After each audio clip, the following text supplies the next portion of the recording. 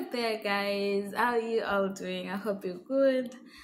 Uh, so I know I've not posted in a long time, but you know, just life. I've been busy with some stuff.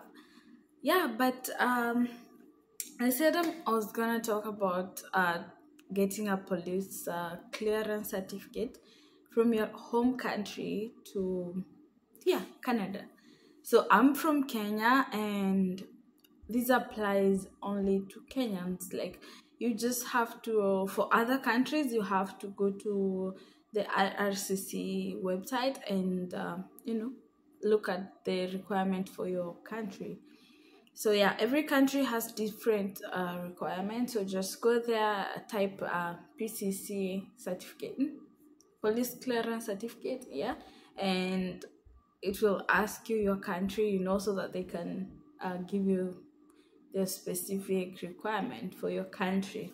So yeah, for Kenyans, when you go there, they tell you like, you know, you have to take your get your fingerprints done. You have to go to the police station to get it signed, and then you mail it to the DCI office headquarters in Kenya, in Kiambu Road. So yeah, that's what I did, guys. I went to somewhere where they take uh, fingerprints you know uh, got my fingerprints taken which costed me like 9000 kenyan shillings that's like uh 90 canadian dollars and then i went to the police station signed uh, got it signed then to send with the uh, you send with either DHL or FedEx or whichever company you prefer to send with. I don't know.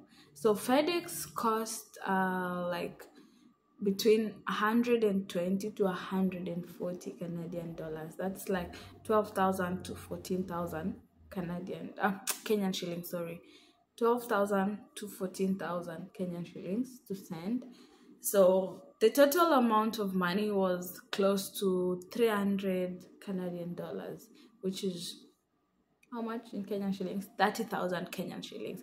That's way, way more than I would pay if I was back in Kenya.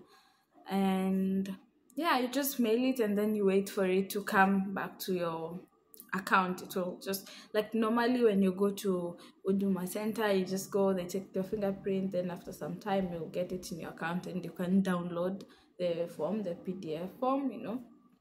So yeah, that's what I did and yeah, that's it guys. So but it's I, I would advise you if you're like back in your home country and you're planning to, to travel here, just have it. Don't come with it like uh, a soft copy. You can just have it. Uh, don't come with it as a hard copy. You can come with it as a soft copy in your phone.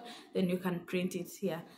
Um, because also at the airport, if you come with your uh, police clearance certificate, they'll know that you you're trying to look for work. You know so just make sure that you take your you get your fingerprints taken and you apply for it. Then even if it comes after some time you'll still have it when you're here.